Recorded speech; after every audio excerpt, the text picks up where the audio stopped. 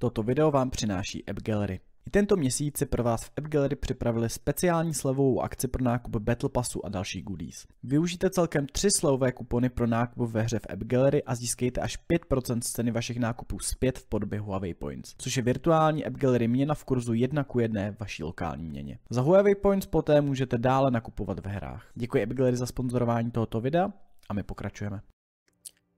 Ahoj, já jsem Xero, vítám vás u dalšího videjka a v dnešním videjku se podíváme na uh, vybavení a spotřební doplňky, uh, takže vás vítám u dalšího dílu uh, tutoriálu nebo série videí, jak být lepší, který by vám měli pomoct uh, zodpovědět takový ty nejzákladnější otázky ohledně toho, jak se v té hře zlepšit, prostě úplný základy.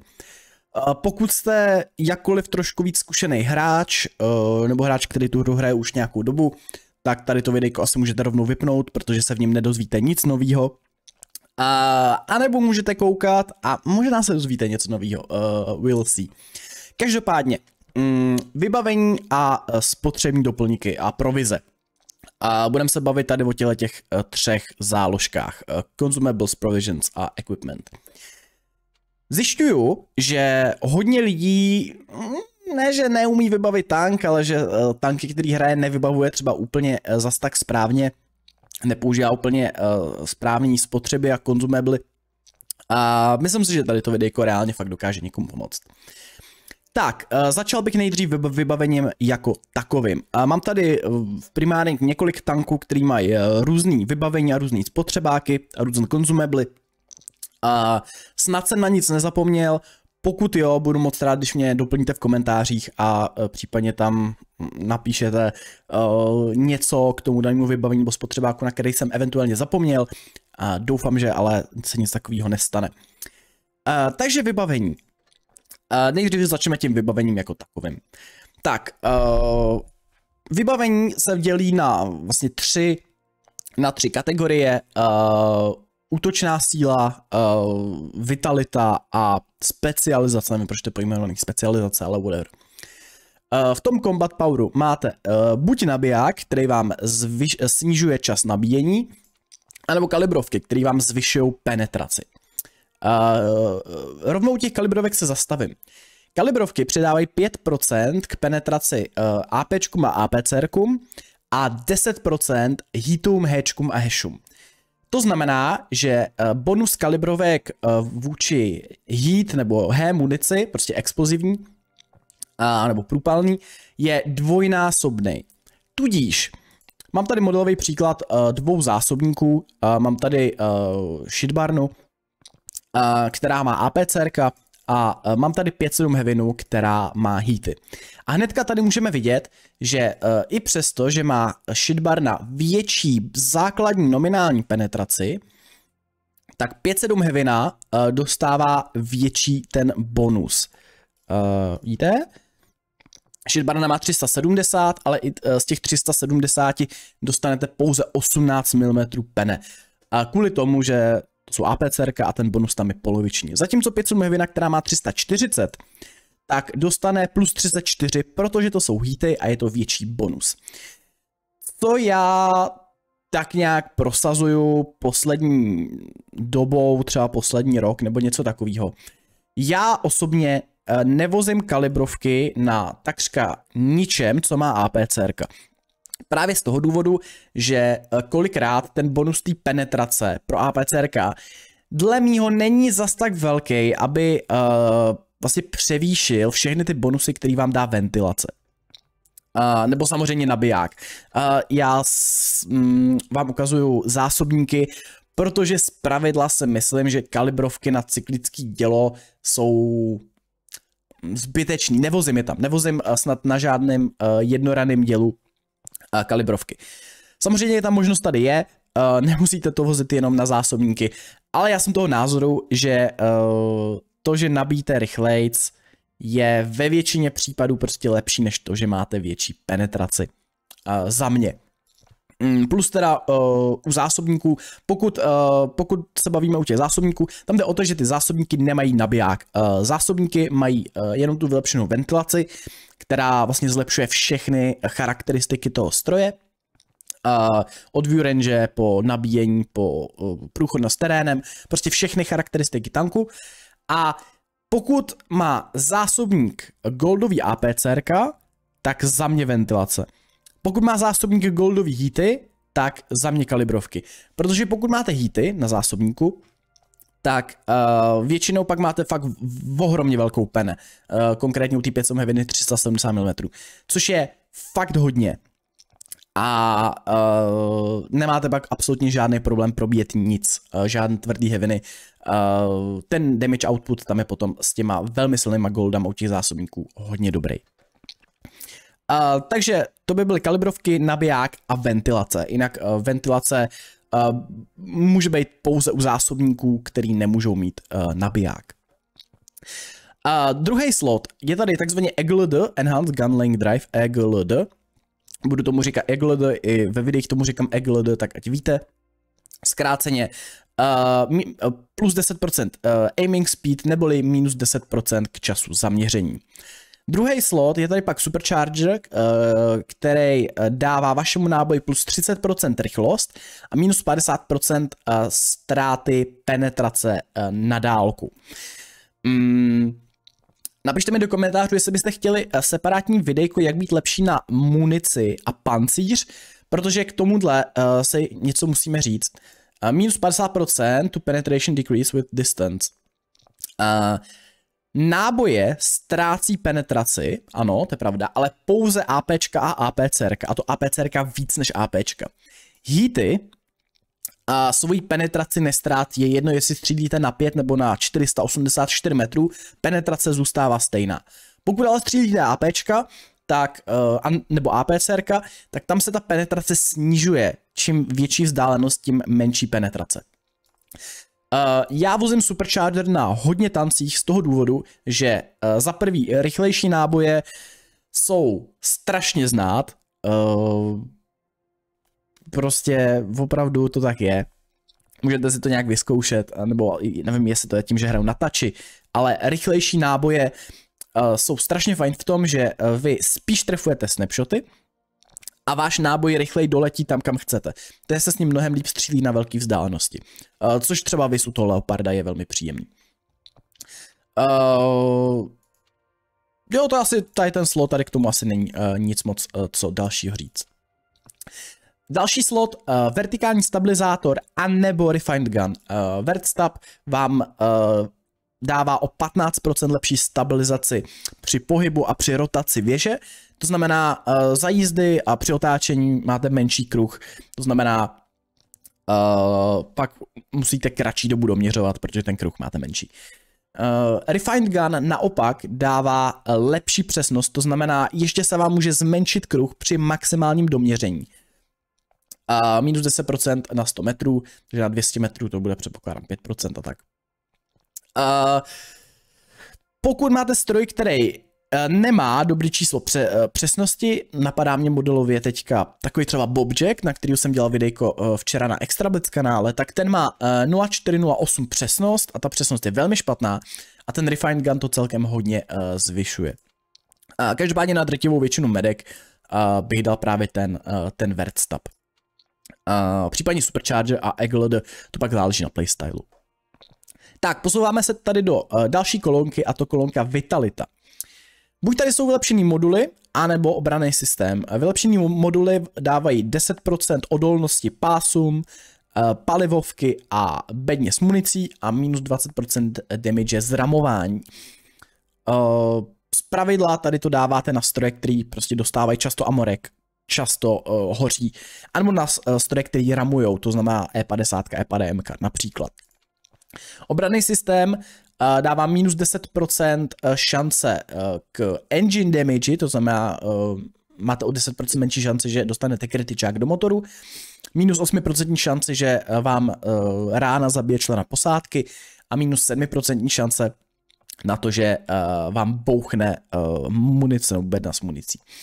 Opět záleží tank od tanku, taky záleží hodně pocitově. Reálně to, jestli dostáváte nebo nedostáváte moduly, může souviset i s tím, jak hrajete, jak píkujete, jakou stranou tanku třeba píkujete, kam se do toho tanku necháváte trefovat. Tohle to je velmi subjektivní. uh, co se týče právě tanku, na kterým uh, tady to vybavení dáváte. Další slot u Vitality jsou buď to vylepšený HP nebo vylepšený armor. No a tady já z pravidla dávám ten, uh, ty HP. Jde o to, že u těch HP přesně vidíte nominální hodnotu, kterou vám to přidává. Ale u toho armoru ne. Ten armor vám řekne, máte 4, plus 4% armoru uh, na korbě a věži. Ale už tam není specifikovaný, jestli to je vepředu, nebo kolem dokola, a není tam, uh, není tam nominálně vidět, o kolik ten armor je lepší. Já si myslím, že ten vylepšený armor je strašný uh, noob trap takzvaně, že spoustu třeba horších hráčů uh, si dává vylepšený armor, protože si myslí, že ten vylepšený armor bude mít za následek to, že váš stroj bude víc bouncovat. Pravda je taková, že si to opravdu nemyslím a ty 4% jsou u drtivý většiny strojů tak hrozně zanedbatelný čísla, že se v 99% případů vyplatí ty HPčka. Protože ty HPčka, to je opravdu to, co vám přidává tu výdrž. Uh, nikde nemáte jistotu, že vám ty 4% garantují nějaký bounce navíc. Zatímco tady máte opravdu garantované HPčka navíc. Uh, takže za mě ve většině případů bych dával ty vylepšený hápka. A potom další slot tady ve Vitalitě tak je buď Toolbox a nebo vylepšený pásy. Vylepšený pásy říkají to, že eh, pokud váš eh, pás dostane ránu, to znamená eh, je žlutý, tak se automaticky opraví do zdravého pásu. A de facto to znamená, že vy buď máte zdravý pás, anebo jste detreklí, ale nemůže se vám stát ten mezikrok, že máte poškozený pás. Uh, to znamená, vaše pásy mají větší výdrž a třeba jdete hůř treknout a na některé stroje napadá mě třeba taková estovka, prase, a, nebo nějaký takový tanky, kde třeba sidescrapujete, máte právě velký pásy a ty tanky hodně často trefí na, uh, trpí na detreky, tak tam bych dal ty vylepšený pásy. Toolbox plus 30% k rychlosti oprav. Um, Tohle je opět věc, kterou doporučuji mít uh, většinou, pokud vysloveně nebude daný tank trpě na pásy. Uh, rychle opravujete právě zničený pásy, mm, zničený dělo, zničený průzor, uh, zničený motor. A těch 30% je opravdu znát. 30% vám dává uh, toolbox a dalších 28% vám dává posádka. To znamená, na kombinovaně máte o 58% rychlejší rychlost oprav. Uh, v praxi to znamená, že s desítkovým metkem jste, nevím, opravíte pásy fakt za vteřinu, vteřinu a půl, úplně takhle. De facto potom ani není třeba na pásy používat uh, opravy, pokud dostanete track v nevhodné chvíli, protože opravujete tak rychle, že uh, stihnete ten pás třeba opravit předtím, než do, dostanete nějaký damage. Uh, specializace. Poslední kategorie vybavení, u který se teda trošičku zdržíme. Tady to videjko bude asi trošku delší, protože tady se chce opravdu rozkecat ovšem ideálně, ať to tady máme všechno pohromadě. A vylepšená optika plus 10% view range, myslím si, že to je úplně jasný. Uh, maskovačka. Maskovačka vám dává plus 5% kamo bonus, když, uh, když se hejbete a pokud se zastavíte a stojíte 3 vteřiny, tak se ten bonus dvojnásobí na 10%. Uh, to znamená, tohle je modelově uh, skvělý na TD, ideálně na TD, který mají věž nebo velký odměr, protože právě kdykoliv vy pohnete korbou, pásama, tak se vám uh, vypne ten bonus a potřebujete zase uh, 3 vteřiny stát a čekat bez pohybu, aby se vám aktivovala ta maskovačka. Uh, dá se maskovačka taky vozit na lightech, ale nedoporučoval bych to nikomu, pokud nejste Unicum, Super Unicum hráč, uh, protože uh, mít lighta s maskovačkou je sice sranda, ale potřebujete na to perfektně znát mapy a uh, to, jak funguje spotting systém. Takže pro většinu, drtivou většinu hráčů bych doporučil optiku a na TDčka, který kempí uh, maskovačku. Engine akcelerátor anebo vylepšená kontrola. Vylepšená kontrola dává plus 10% k rychlosti otáčení tanku a uh, engine akcelerátor dává uh, plus 5% k výkonu motoru. Jde o to, že když se podíváte, tak ten výkon motoru uh, právě mění i tu power to weight, uh, i to otáčení. Uh, ne tolik, ne tolik, cca polovičně, ale furt tam je ten nárůst.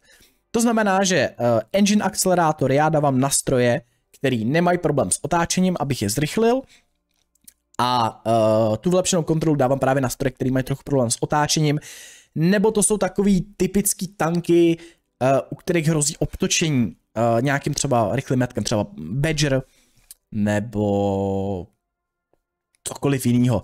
Uh, je to taky hodně, hodně podle gusta, s čím se vám hraje líp. Tady není vysloveně uh, univerzálně lepší varianta. Uh, na metka z pravidla teda ten engine akcelerátor, ale třeba na TD nebo Heaviny, který mají trošku problém s tou rotací, tak ta vylepšená kontrola rozhodně není chyba. A potom buď to Consumable Delivery System, a nebo High-End Consumable. Uh, consumable de- Delivery System že vám uh, dělá, že vám uh, o 15% sníží cooldown uh, spotřebáků. Uh, tady to pak vidíme, když to přehodíme, tak ten cooldown je najednou vyšší. Nebo není vyšší, je, uh, je vyšší a teďka je nižší. Uh, tady ten bonus scaluje s boostrama na cooldown, a, takže pokud máte, za, pokud máte tady ten slot vybavení a boostery na cooldown, tak se schopný opravdu mít adrenalin každých 40 něco vteřin, což je hrozně příjemný. A nebo high-end consumably, který vám uh, zaručují, že vaše spotřebáky drží, vydrží o 30% delší dobu. A platí to i na abilitky v módech. Což je fajn zmínit a dost lidí to neví a nebo ví a nevyužívá, ale pokud hrajete módy, třeba Big Boss, tak vy chcete ten high-end, uh, ty high-end consumable, protože pak vaše abilitky opravdu trvají o třetinu díl a je to znát. Na druhou stranu na publiku chcete z pravidla vozit rychlejší cooldown kvůli rychlejšímu cooldownu oprav, převážně, protože delší trvání, pokud uh, máte klasicky genericky vybavený tank, to znamená nějak takhle a nemáte žádné OP spotřebáky, tak jediný, co vám může dát delší trvání z těch tří vybavení, tak je ten adrenalin. Proto právě je lepší uh, ten cooldown, protože z toho benefitují právě všechny ty vybavení. Mm, tady to druhý, uh, ty high-end consumably pak trvají díl, je pak příjemný, že super, super přesnost trvá třeba 26 vteřin a adrenalin 19. Ale to je jenom taková, nekecám, víc, víc, víc, víc, uh, 26 vteřin, 19. Hm? No, to je jedno, já jsem se tady, uh, jo, 20 vteřin, 20 vteřin a bez toho delšího a s tím delším 26. Ano, tak. Um, pak tady máme jednu specialitu a uh, ta specialita jsou japonský heaveny, devítka a desítka, kdy místo optiky a maskovačky máte uh, vylepšený vertikální stabík, to je de facto vylepšen tady toto, ale bonus je úplně jiný, a to konkrétně, že vylepšený vertikální stabík vám dává plus 3 a minus 3 stupně k uh, elevaci a gun depresi. Tohle je jediný vybavení a na jediných dvou strojích, právě na devítkovém a desítkovém typovi, japonským, že máte vybavení na sklopení díla, na gun depresi. Za mě to je úplně skvělý nápad, a hrozně lidí to tam nevozí, protože ten uh, druhý, uh, to druhé vybavení uh, jsou vy, vylepšený tlumiče nebo pérování, který před nerfem několik pečů dávalo typově obratnost a otáčení lepší než některý met, nebo velmi podobný jako některý metka. Uh, tady, ten, tady ten spotřeba, která dostal, pokud se nepletu, nebo tady to vybavení, dostal 50% nerf effectivity, to znamená, ten ter- terén crossing capacity je o polovinu horší a tady ty bonusy jsou taky horší. A upřímně, tady to je taky velice subjektivní, uh, mně se příjemně hraje typ 71 s 9 stupněma deprese jsou lidi, kteří by mi řekli, že jsem debil a že, mám, že je prostě lepší ta obratnost a jasně jo, asi jo, ale a tady přesně se ukazuje, že eh, každému může vyhovovat něco jiného. A, takže je vždycky třeba si vyzkoušet třeba několik variant těch vybavení a, a potom si vyhodnotit, s čím se vám hraje nejlíp, případně co je pro daný tank nejlepší. Tak jo, to by byl equipment a uh, to znamená, že to nejdelší máme za sebou a teďka se podívám na consumables, neboli spotřební doplňky. Spotřebních doplňků máme několik, a takový ty klasický opravy, větší opravy, lékárna, hasičák, opičí kapky. A pak máme uh, spotřebáky, kterým já přezdívám OP spotřebáky. A těch je několik. Uh, Shell Reload Boost, který dává minus 30% k interklipu v zásobníku, což je strašně silný. A pak super přesnost, o který jsem už mluvil, která vám uh, snižuje o 40% aim time a zlepšuje přesnost, což je, já to hodně opakuju, opakuju to uh, v hodně videích. Uh, tank, pokud má tank super přesnost, vyplatí se jí tam vozit. A ta super přesnost vám totiž zaručí to, co žádný jiný spotřebák ve hře, a za mě super přesnost nejlepší OP spotřebák ve hře. Protože vám to dovolí trefit úplně všechno. A trefit úplně všechno i na nesmyslnou vzdálenost. A přece jenom v tady té hře jde nejvíc o to, abyste proměňovali svoje rány. A s tou OP přesností jste schopni proměňovat úplně všechno. Je tady třeba i taková E3, která má OP přesnost a mít desítkový TD se 150 mm dělem s neúplně dobrou disperzí a přesností. ale vy zapnete tu, tu super přesnost a ten kruh se vám takhle sníží. Takže velice doporučuji vozit. pak jsou tady takové nepříjemné kontradikce, jako například Leopard a jedny opravy, protože Leopard extrémně trpí na uh, řidiče a na munici a ty jedny opravy potom dokážou opravdu hodně, hodně, hodně potopit. Ale uh, jak říkám, vyzkoušejte si různé kombinace a uvidíte, eh, která vám z toho vyjde potom nejlíp. Potom máme uh, další OP spotřebák a to Improved Engine Power Boost, to znamená uh, tohle je Forsage, tohle je Super Forsage, uh, plus 40 uh, výkonu motoru, uh, plus 5% otáčení, plus 5 km za hodinu. Uh, maximálka dopředu, plus 10 km za hodinu maximálka dozadu. Tady ten OP spotřebák dostal před celkem dlouhou dobou Nerv, on přidával plus 10% turn rate a plus 10 km dopředu. Dostal nerv, byl to tím pádem i nepřímý nerv všech tanků, který ten OP, který tu superforzáž vozej, třeba takový kran, protože najednou se ztratili maximálku o 5 km za hodinu. Ale pořád to je věc, kterou já vozím mm, na strojích, kde se to hodí. Třeba takový krán, třeba takový STRVK, a je to celkem cool věc. Často se mi děje, že vidím lidi, co mají tank co super forsáží vozit normální forsáž. Proč? Reálně proč?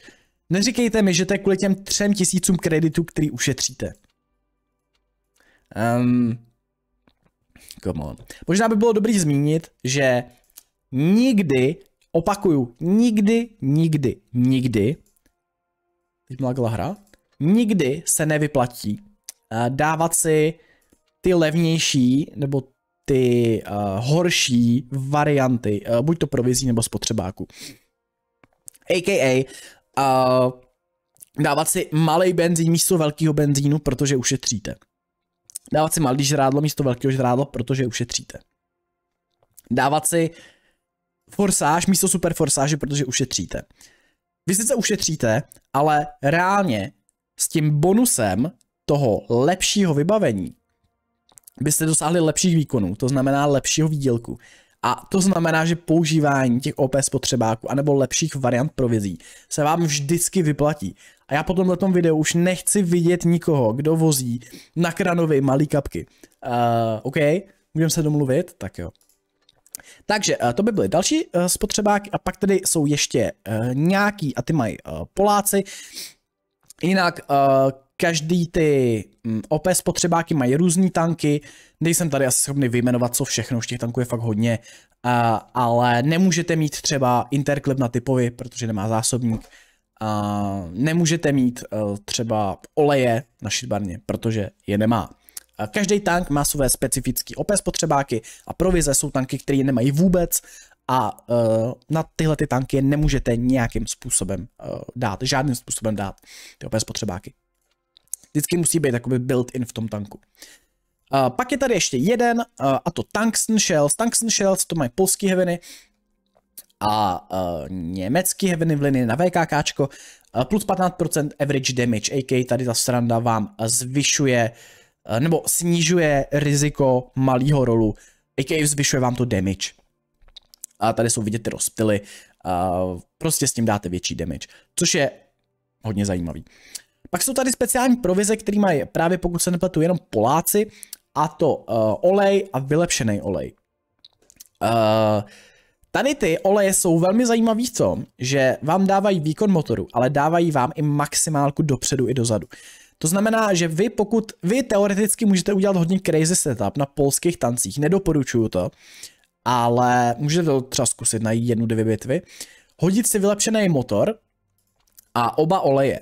Jde o to, že potom se vám sečtou všechny ty procenta výkonu motoru a jakože to udělá hodně, že to udělá třeba skoro 20%.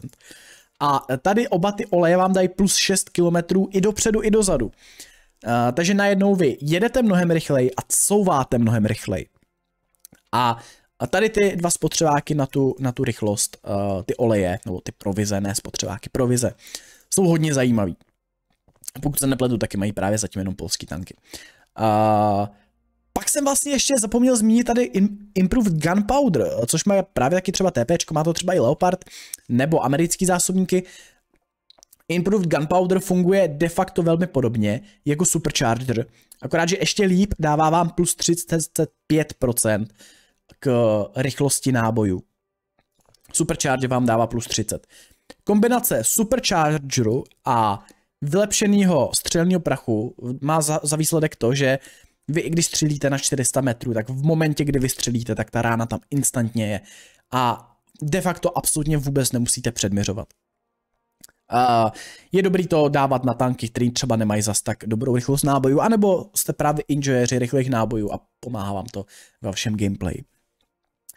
Uh, Tohle to by byly takový ty základní uh, provize. Ještě jsem tady zapomněl na jedno, když na to koukám, ještě, že jsem si to proklikal. Vložka. Spoliner neboli vložka, stroga vložka, která dává minus 20% od héček. Myslím si, že ten, ten spotřebák je přepálený. Uh, je takřka pravidlo, že pokud uh, trefíte héčko do tanku s vložkou, tak dáte menší damage, než byste dali standardním nábojem. A ten bonus by měl být určitě třeba maximálně, maximálně minus 15%, spíš třeba minus 10%. Ale uh, je to věc, která papírovým tankům, který jsou náchylný na héčka, de facto zvyšuje hápka, protože ty héčka do nich dávají menší damage. To znamená, vydržíte víc ran. Uh, tady tu provizi mají britský TDčka, mm, německý TDčka v linii na grilla, a lajti francouzští a linie na baťáka, myslím si, že od sedmičky výš, nebo od osmičky výš a tak. Rozhodně pokud máte stroj papírový, který uh, může mít vložku, vostej tam. Vostej tam, protože pokud ne, budete dostávat bolový héčka.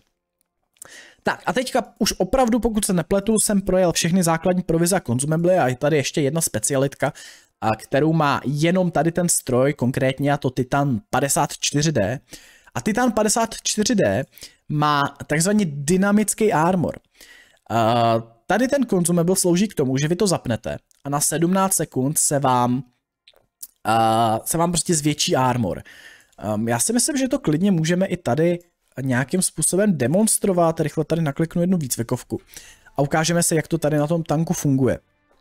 A uh, není k tomu ani třeba žádný enemák, ono to je celkem dost uh, evidentní. Uh, jakmile se hodím do bitvy, tak uh, zmáčknu pětku, nebo Ečko, a zapnu si armor, jo, zapínám armor za 3, 2, 1, teď. Jo? A najednou je Space Armor na věži, najednou je víc armoru uh, na vrchním plátu a na boku. Mm. Tohle je ten efekt celý. Uh, a má to jenom tady ten stroj, jenom tenhle ten Titan 54D a to, že máte zapínatelný armor uh, přes, uh, přes consumable.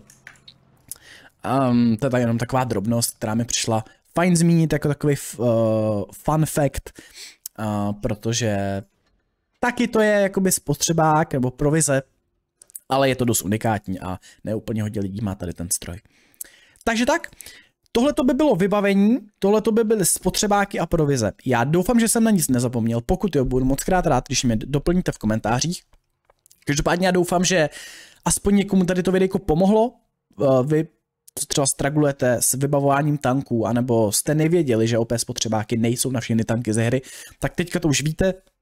Napište mi do komentářů, jestli vám videjko nějakým způsobem pomohlo a taky budu moc rád za nějaký tipy na, uh, nebo nápady na další videjko ze série, jak být lepší. Sedl jsem včera a opravdu jsem asi půl hodiny přemýšlel nad nápadama do série, jak být lepší. Mám tam čtyři nebo pět uh, nápadů na videa, takže uh, vaše nějaký nápady rozhodně oceňuju, protože se třeba trefíte do něčeho, co mě ještě nenapadlo a právě díky nápadu někomu z vás se tady pak může objevit ještě nějaký edukativní videjko z téhle série. Tak jo, já vám moc krát děkuji, že jste koukali, půlhodinový videjko, ale tak tady ty videjka pro začátečníky, jak být lepší, není radno podceňovat a je lepší, aby byly delší a bylo tam všechno, než kratší a zapomněl jsem na něco. Takže tak, a díky vám, že jste koukali, vidíme se u nějakého dalšího videjka nebo streamu. Mějte se pěkně a zatím ahoj. Čekněte Extrablitz kanál. Pokud by se chtěl podívat na víc videí ode mě, doporučuji navštívit můj Extrablitz kanál. Najdeš zde, mimo komentovaných replayů, gameplay videa s nejrůznějšími tanky vyšších týrů, takže je velmi slušná šance, že najdeš video právě na tank, na který potřebuješ.